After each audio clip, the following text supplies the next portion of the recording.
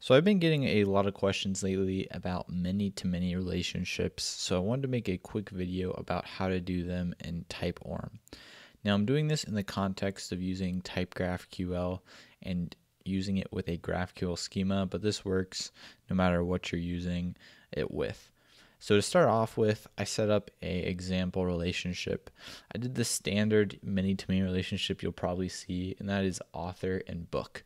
So we can have an author who's associated to many books, and a book could have many authors. So here is what my entity looks like. I have a author entity here. I have a name and ID field, and you'll notice again I'm using TypeGraphQL, so we have some fields here. Uh, the other thing is this one-to-many thing, which we're going to talk about in a second. You'll see my field has, or sorry, my book has the same thing, a name and an ID. Um, and then there's this extra field um, that's also one to many. And then I have a authors field, which again we'll hit in a second. So with Typeorm, you have a few options of how to do many-to-many relationships. You can have Typeorm just handle it for you, but what I prefer to do or prefer to handle it is to create the join table myself. And so what I'll do is I'll create a join table or another entity which I call author book. So this is the thing or the table that connects the book entity and the author entity together.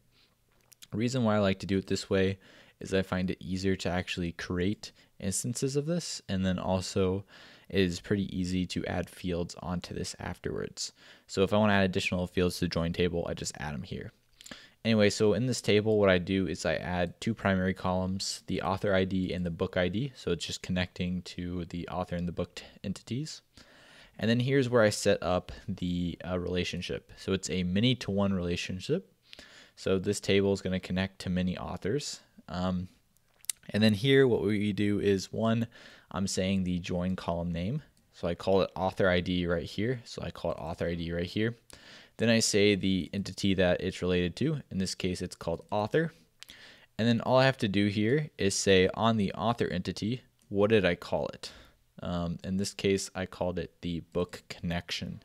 Um, and that's how I get this author book on author. Uh, and so when I call it book connection here, on my author, I have to call it book connection over here.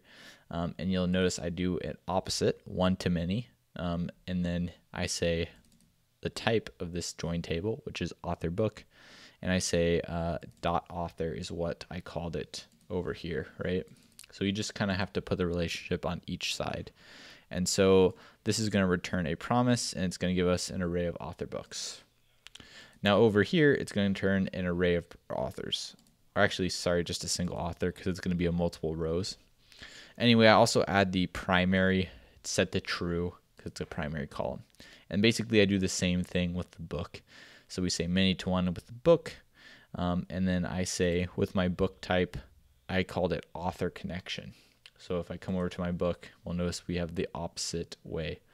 So that is how you set up the relationship. The next thing I want to go over is just some basic operations you'll usually do with many to many relationships. And then we're going to come back to what this field is about.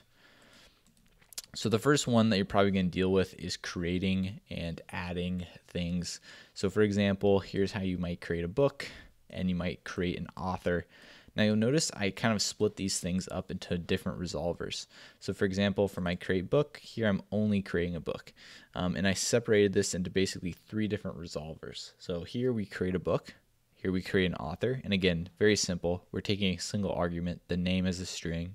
We pass that in, we save it. And then how do we actually connect them together? Um, that I have as a separate mutation, which I call add author book, which we take an author ID and a book ID. Um, I create that and then I save it. So what that does is it creates the connection between the book and the author ID, or the author and the book, I mean.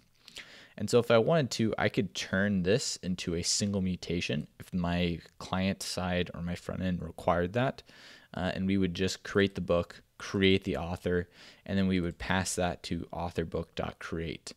Um, so we could just jam that into one if it need be, uh, but or sometimes you may need to split up like this. This is just the requirements, depends on what your project has. So both of those you'll see.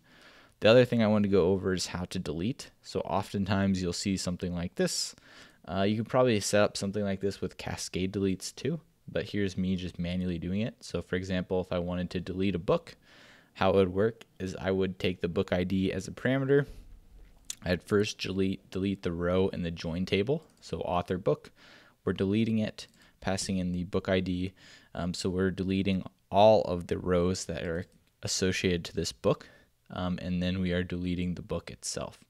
And again, if we are doing with this with author, it would work the same way. We delete all of them with the author ID, and then we delete the actual authors themselves. So delete from the join table, then delete from the entity itself. Um, and then lastly, and this is where things are more complex, is with querying. So actually, it's not too complex. This this one right here, right? That's very basic. So I'm only doing one side of it here. So I'm saying books, and we want to find all the books that we own. Now this is where when we fetch a book, we also want to know all the authors that are associated with the book. So I'm saying book.find, that's going to return me a bunch of books.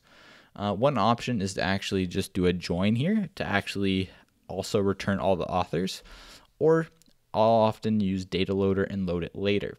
So what I'm doing is using that. So in my book over here, I have this field which returns an array of authors. And what I'm doing is I'm saying authors here. I'm using this context um, to get access to the authors loader. So I'll show you that in a second, but that's data loader stuff. And we're returning an array of authors. So here I just say authors loader.load and I pass in the ID for this book. So basically what author loader does or authors loader is you pass in a book ID and it gives you back the array of authors associated with that book. And so that's how we're actually going to uh, return the authors. And uh, what's nice about this is it turns this into a single SQL query no matter how many books you're trying to fetch. But let's jump into what this authors loader looks like. So I made it over here. Um, what it does is it returns, I have a function down here which I'm calling create authors loader. And it's an array, sorry, not array, but a function that returns a new data loader. And then the data loader, we pass in a batch function. Batch authors is what I called it. We'll look at that in a second. I just want to mention where I'm calling this create authors loader. So I'm actually calling that in my context, which is right here. So in my context of the server, I call create authors loader. Um, and then I, I'm doing this on every single request. You create a new data loader instance. Anyway, so this is where it's a little bit more complex is the batch authors data loader. So this is what a data loader instance or a batch function looks like usually when I'm doing something that is a many-to-many relationship. So what's going to happen is we're going to have an array of books, or sorry, book IDs, and we need to return an array of arrays. Uh, we're returning a 2D array back because each book could have an array of authors associated to it. So the first thing that we do here is you'll notice we're doing a find command. And here is where we're using our join table, so author book. And we're first doing a join on the author table. So I say join here. I'm naming it and I'm just using an alias. You can see it's just author book. And we're doing an inner join and we're selecting the fields. So I say inner join and select. I want to join with what I'm calling it author. And then what I say right here, dot author is important. So this first part is the alias. So I pick the alias author book. So that's what goes here and then dot what, what how did I come up with dot author here right? So if I click on my entity if we come over to author sorry book author book um, if I wanted to join on book I would call it dot book. If I want to join on author I do dot author. So whatever I name them here is what I join on. Uh, so back to my authors loader. So that's going to join these together. And then all I'm saying is uh, grab all of them and uh, find the ones where the book ID is one of the book IDs that we need. So what's going to return is something like this. So author's book is going to look like an array of things that looks like this. So we have our author ID, our book ID, and then something that looks like this. So this, I'm not sure why they return it like this, and it's not type safe. At least we don't know about it. I had to cast it to any, which I'll talk more about in a second. Uh, but when I return this, it just tells me I get an array of author books back. But because I said and select here, it also has the author associated with this uh, join table row item. But anyway, it's going to be a, a bunch of objects that look like this. We have the author ID, the book ID, and then because I joined it on the, the author, it's also going to include the author entity itself. So again, we can see the ID and the name.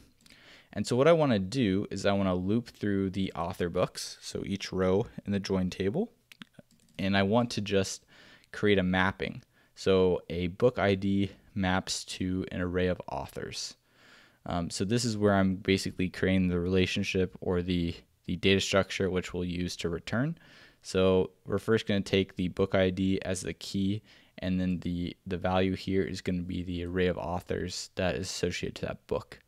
So I'm looping through. First thing I just check if the book ID is already in the map. If it is, we just push on the value. Otherwise, we're going to say we're going to create a new array.